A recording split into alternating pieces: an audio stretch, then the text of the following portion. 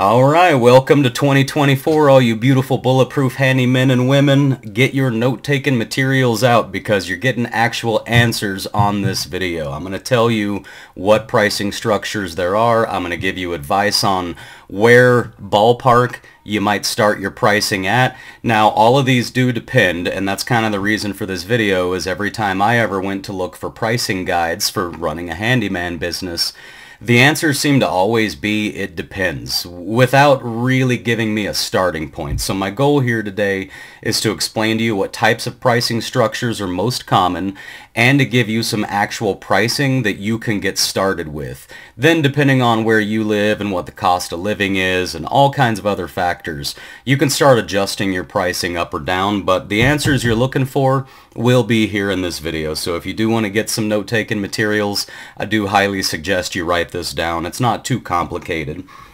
But let's go ahead and jump right in. So the first type of pricing I'm going to talk to you about is one that I don't use super frequently, but I do have for very specific jobs, and that's just set pricing. That's having a very specific price for a very specific job, and that price is always the same. Uh, the example I'll give you with my business is going to be a toilet replacement. Now, I work for property managers almost exclusively. That's kind of what I promote on this channel, although I make sure my information is good for everybody.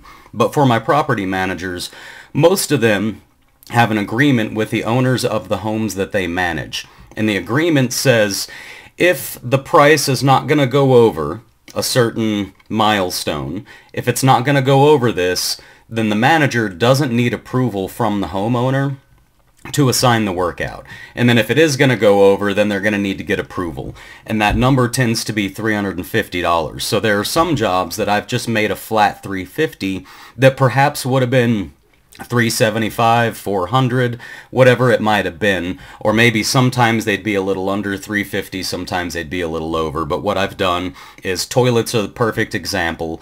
Now you can go to Home Depot and buy a toilet for about a hundred bucks. Sometimes they're 87 bucks, sometimes they're 127 bucks. But a toilet is about a hundred bucks. So if you can charge 250 to get you up to that 350, if you can charge 250 plus the price of the toilet, which is a hundred bucks, you can do a toilet for 350 or less. And there are guys out there charging 250 including the toilet. And there are guys out there charging $500 plus the toilet. And pricing is everywhere. But for me, what I found is that over time, after I do a lot of toilets, I typically find that if I just do all my toilets for 350 at just a basic swap, for $350 exactly. That makes my property managers' lives easy because the homeowners don't want to spend $400 on a new toilet. And they may or may not be more likely to say no if approval is sought. But if I can offer the solution of, hey, I can stay under your maintenance limit or just keep it right at that 350 I can do that every single time for you so that when you want to have me replace a toilet, you just send me the job, I'll do it, and I'll guarantee we won't go over 350 so that's one way. That's what I just call set pricing. I do have that type of pricing for other jobs, but we're not going to dive into exactly what I charge for every single job. So next is going to be very, very common within the property management industry as well, um, as well as with just working for homeowners. But this one is very common with property managers, and it's the idea of a trip fee. Now you can also call this a trip minimum. There's some nuanced to differences. But essentially what the trip fee is, is I'll give you my example for how I run my business. I have a $125 trip fee.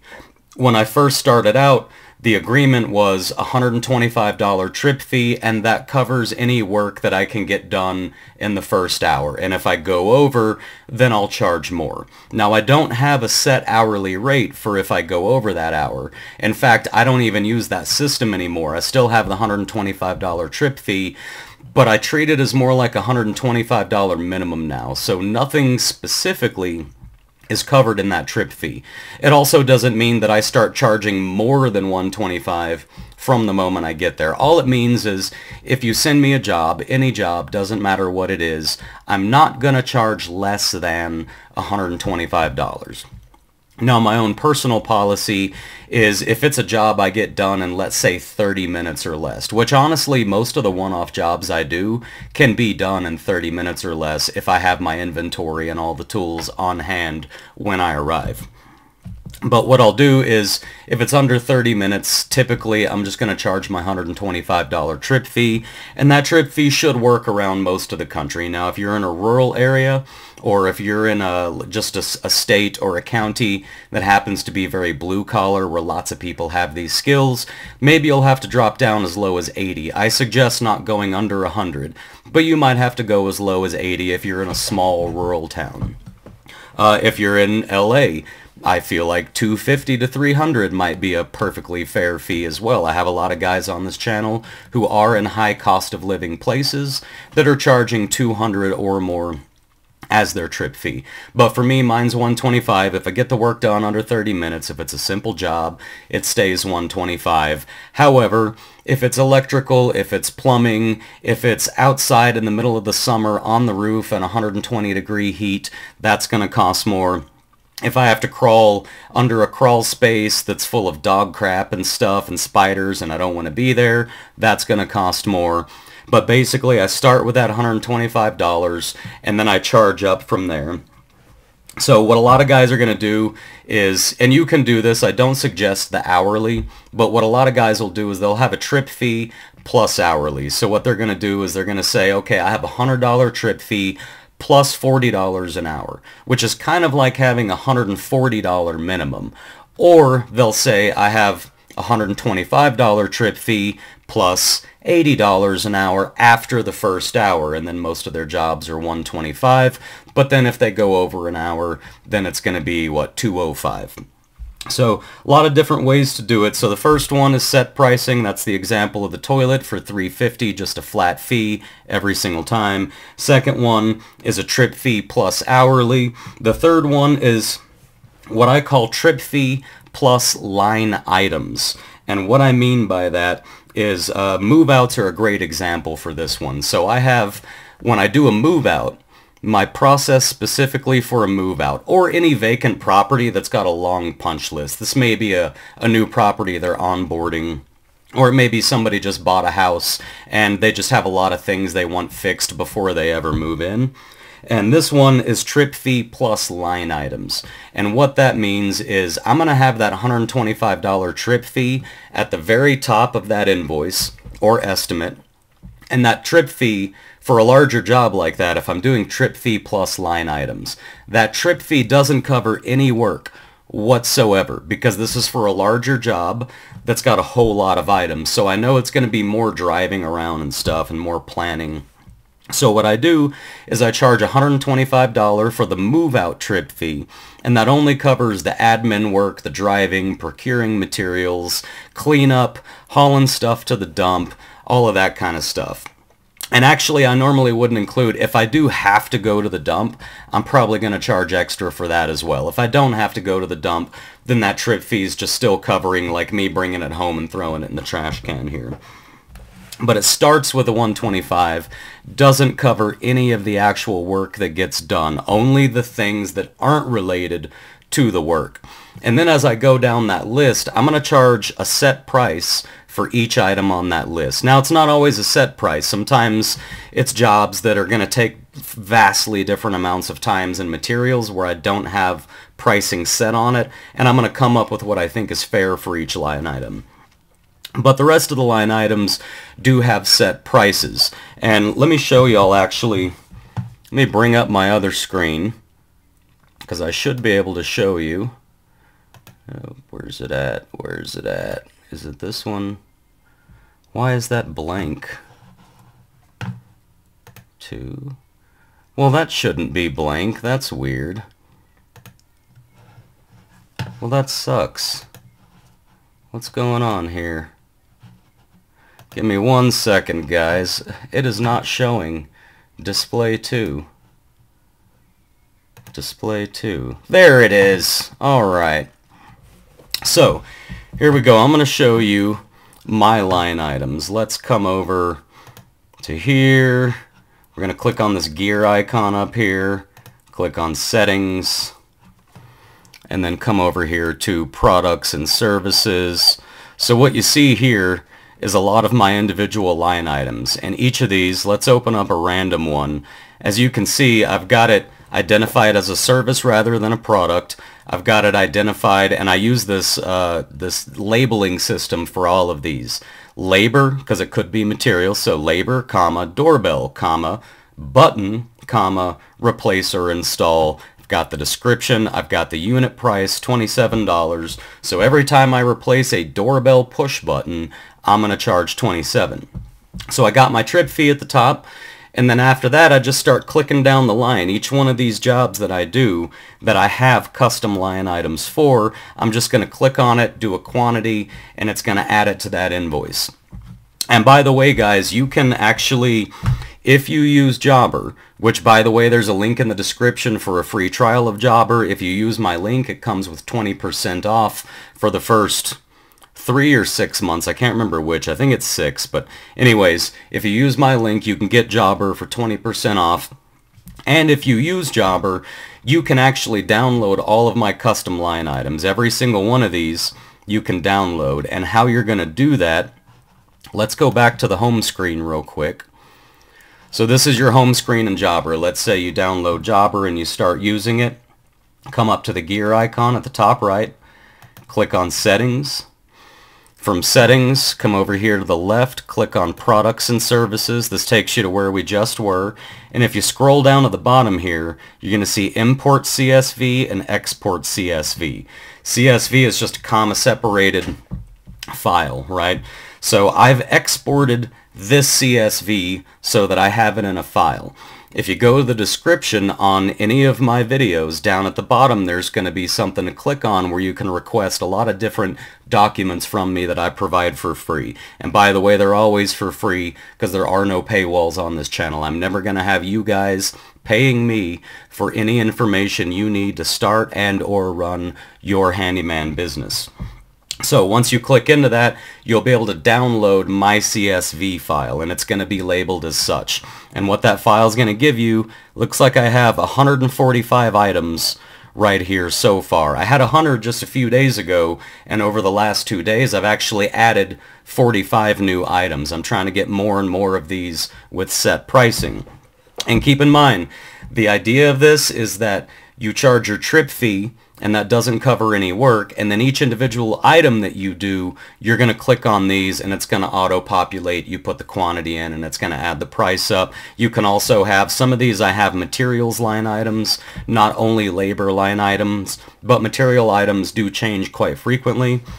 But anyways you can download that file. Once you get that file downloaded onto your computer, you come here into Jobber, just the way I showed you to get here. You come down here to the bottom, and you're going to click right here on Import CSV.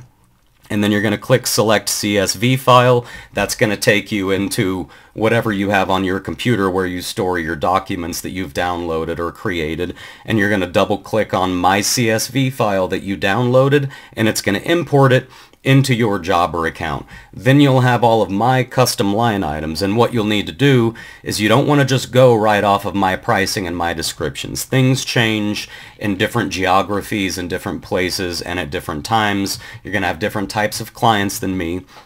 But this will give you a good starting point. And then you can go through, read my descriptions, change them to suit whatever you would like them to say, change the pricing to suit the pricing that you would like to have, but y'all can actually import for free my line items. You're just going to need Jobber to import it into. And by the way, if you're receiving value from this video or from this channel in general, my, my theory has always been that if I provide you with value, then that's when it's worth your while to help me out. And the way you can help me out, number one, since Jobber sponsors this channel, and I've been using Jobber, by the way, for three years now, since I first started this business, long before they ever sponsored me. They sponsor me because I know their software very well. I'm very in-depth with it. It is my favorite software. I don't think there's anything else on the market y'all should be using to run your handyman business. But if you want to return the favor, if you receive value from this video and you want to return the favor, go get yourself a free trial of Jobber. Give it a shot. You know, if you don't like it, don't buy it. And if you do like it, do buy it. But you downloading that free trial lets Jobber know that I'm doing my job, which keeps them sponsoring the channel, which gives me extra time that I can take away from the business to reinvest back into the channel to make these videos for you. So, let's go ahead and close out of this and go back to just my beautiful face here. So that was trip fee plus line items, and that's how I do all of my move outs is a trip fee plus my custom line items and then for whatever jobs don't fall into a custom line item with a set price I attach a price depending on how the job went and how long it took. Next Next type, uh, a lot of guys are a big fan of this, especially I find if you're working for homeowners, and especially if you're working for homeowners on bigger jobs or with long punch lists, and that's the idea of a day rate. Now, day rate doesn't always mean day rate. It can be a day rate, it can be a half day rate, a quarter day rate, but the idea being that you want to make a certain amount of money for being out of the house and working for a day. I think a good place to start for a day rate, and yes, this is going to sound high to some of y'all, but I do believe that this is a fair price based on all of the overhead. For example, paying for jobber, all of the overhead, your insurance, your workman's comp, all of that stuff that's overhead that eats out of that labor that you charge. So I feel like 600 a day is a pretty good price. Now a lot of guys might start at 3 or 400 a day. I really wouldn't go under that unless you're just so desperate that you've got to pay that electric bill tomorrow or they're cutting your electric off. You know, we all got to do what we got to do to take care of our families. But as far as planning and running your handyman business over the long term, what I try to shoot for as sort of a minimum where I'm happy at the end of the day is $600 for a day rate. Now, 800 is possible, 1,000 is possible, depending on where you live, more than 1,000 is possible, and sometimes I have $300 days, and sometimes I have $400 days. But 600 I feel is a good price for a full day rate. And then typically if you break that down, you can say, okay, so my half day rate is going to be 350. But maybe you want to be busy all day every day. So you might make your half day rate, um, sorry, so the day rate 600, your half day might be 300, but if you want to stay busy all day, if you want to incentivize people to block off a larger portion of your day that they're guaranteed paying you for, you might make your half day rate instead of 300, make it 350 or 375. And then of course if you go from 600 to 300, half of that's 150, so you'd have $150 for a quarter day, which most people are going to assume is going to be like two hours. So here's the problem with 150 for two hours. Your trip fee, if it's 125, that's going to be for basically an hour of your time. Because you're going to drive there, maybe it's a 20 minute drive and then you get the job done in another 20 minutes and you clean up and you got a little invoicing to do or something. So you're looking at $125 for an hour. So two hours would be 250. So if you're down here charging 150 for a quarter day, you're really kind of screwing yourself out of income that you could have had to take care of your family because you're too worried about charging too much. So just keep that in mind. Most guys are going to do a full day or a half day. So call it 600 for a full day, 400 for a half day. Again, I'm trying to give you the answers you're actually looking for while still making it clear that yes, it does depend. If you live in LA, uh, somewhere where you can't even rent a one-bedroom apartment for $2,000 a month, you need to be charging way more than what I'm telling you. And if you live in a little tiny town with a population of 8,000 in the middle of nowhere, full of hardworking blue-collar men, you might have to charge 60. It may not even be viable, or it may be viable because you can charge 60, but then your rent is so cheap and your food is so cheap and everything, just the cost of living in general is so cheap that you can afford to get by doing that. But that's, uh, so that's the day rates. And then finally, approved estimates. These are always super nice. And I actually do my estimates the same way as I do the trip fee plus line item. So like for the move outs. Because guys, I only do estimates for bigger jobs. If it's not a bigger job, then doing the estimates kind of a waste of time. Like I can just go fix your stuff faster than what I can come up with an estimate and send it to you and wait for you to approve it, etc., etc. So if I'm doing an estimate, it's typically on a bigger job with more items on a punch list, and I'm going to use my trip fee method.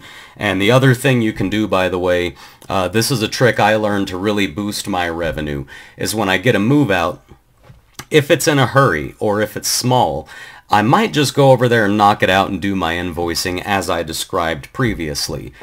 However, if we're not in a hurry and if it's a bigger move out, or if we're not in a hurry and it's small, but I see that there's lots of other things that the property manager didn't notice need to get fixed, then what I'll do is instead of knocking the work out that day, Instead, I'll just do a full inspection. And by the way, in my documents you can download, there is a giant inspection checklist for you in there as well. So you can start doing these thorough inspections for your property managers.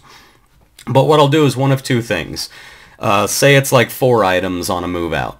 I might do the four items and inspect and then come home and invoice those four items, but then I'm also going to make a new estimate and on that new estimate is going to be with Jobber, if you have the grow plan, you can do a line item approve or deny. So what that means is most software with most companies and even with Jobber, if you don't have the grow plan or maybe the connect plan, can't remember which, but most companies, when you're writing an estimate, the client cannot approve or disapprove one line item at a time. They're approving the whole estimate or they're not approving the whole estimate.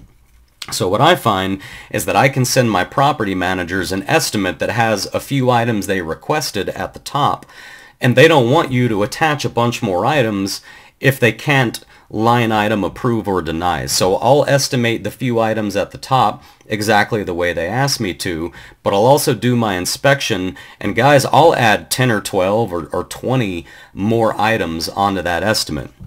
With my, again, with, uh, let me show you this again, with all of these customized line items. So if I notice that it needs a new carbon monoxide detector and the, they didn't find that, I'll just click on that and add it to the estimate and I'll click on each individual item that I found that's additional. So that way if they don't want any of that extra work done or for whatever reason they're just they're not going to do anything about it they can still click on and approve the items they asked for and you still get your approval and you still do your work. But what I can tell you from experience is if your pricing is basically fair and it's legit stuff you found and by the way you can upload pictures on Jobber to your estimate as well. So each line item of the new things you found, you can attach a picture to those line items so they can see that it truly is broke. But I find that they will typically approve most of the additional items that you put on there if they're legit items and if the pricing is fair and if the total fits within the budget. And that's the other handy thing too with a line item approve or deny. Let's say they have an $800 budget and you send them all these line items that if they were to approve all of them comes out to $1,100. Well, they don't have an $1,100 budget, but what they can do is just approve the right work to get up to that $800 budget, and then they can still stay within their budget. They don't necessarily fix all the additional items you sent them, but they're going to fix a lot of them. Um, so approved estimates, those are the best way to go, guys. Just make sure when you do your estimates that you're very clear about two things. First thing, make sure you're clear about exactly what work is included, what you're actually estimating for, and how much that's going to cost. And then number two, you need to have a line in there, which is in my custom line items. There is a line for you to click on to just add to each of those estimates that's pre-written that says no work not specifically listed within this estimate is to be assumed. Because what they'll do is, let's say they want you to replace an interior door on a vacant property. You go replace the interior door, and after you're done and you invoice, they come back a week later and say, hey, you didn't paint that door. Well, they didn't approve you painting that door. They didn't ask you to paint the door. They asked you to replace the door. To which they might reply, well, of course we want it painted. Why would we not want it painted? To which my reply would be, I don't know that you want me painting it. I would assume that you'll want it painted, but this is a vacant property. It needs all kinds of paint work done, and as far as I know, you have a painter who's going to come paint. Or you're going to ask me to give you an estimate to paint later, Or you just have another handyman who goes around to all your vacant properties touching up paint, like I don't know. Now, of course, for me, I would always have the next line be another individual approve or deny line item that says, add paint to this interior door for $100. And that's fine if you want to do it that way as well. But do make sure that you're very clear about what work you're going to do, how much it's going to cost, and specifically let them know that no work not specifically spelled out in this estimate is to be assumed because they will assume they'll be upset that you didn't do something they thought you were going to do that you never said you were going to do, but now they're upset. So you got to make sure you got that line in there. Uh, next, Okay, we're right at the end now. So um, I talked to y'all about Jobber. Uh, also, as far as insurance, I use Next Insurance. I have since just about the very beginning of this business. There's also a link in the description to get a free quote from them. Uh, I have a newsletter, the Bulletproof Handyman newsletter. There's a link in the description to click on that, and you'll be able to get my newsletter. Also, if you go request any of my documents, when you sign up to get my documents, that will also get a newsletter sent on its way to you. And then finally, last but not least, I know a lot of y'all aren't going to be a fan of this, but I am on the X platform, formerly known as Twitter. I'm going to start doing live streams on there very soon because they're adding a video option. So what we're going to be able to do on X is when I do an X Spaces, uh, currently it's audio only, but y'all can I can turn on your microphone and we can actually conversate back and forth instead of me just reading your comments and then responding and talking to a camera. I'll be able to actually talk to you back and forth when we do that. And then also they're adding video this year, and that's the exciting part because when they add the video to it, not only will we be able to talk back and forth, but we'll be able to see each other while we talk. So go look for Bulletproof Handyman or Handyman Hangout, either one, on Twitter. Find me there, formerly known as Twitter. It's X now, and follow me over there. I'm going to be doing more and more over there. However, YouTube is not going away either. I'll always be here doing stuff as well. So let's recap real quick. You've got set pricing. That's like the $350 flat price that I charge on toilets. You've got a trip fee plus hourly. That can be where part of the work is included in that trip fee and then it's hourly after the first hour or that first hour can start billing right away. You've got trip fee plus line items. That's what I do on bigger jobs such as move outs. And then you've got day rates, half day rates, quarter day rates, and then finally approved estimates. And yes, you can just do hourly. Some people do flat hourly. I really don't recommend it. It's the one subject I won't get into detail with on this channel. Uh, working hourly causes people to think that you're their employee, and you're not their employee. You're a service provider. They need to let you know what they need done before you get there. When you get there, you do what they need done. You charge the agreed upon rate, and then you're done. You don't want to be in a position where somebody said, oh, well, you're a $100 an hour and I want to pay for two hours and I want you to just do whatever work I tell you to do. You're not an employee, you're a business owner, so I don't recommend just doing flat hourly work. Otherwise, I love you guys. I hope y'all are out there killing it, and I will see you on the next video.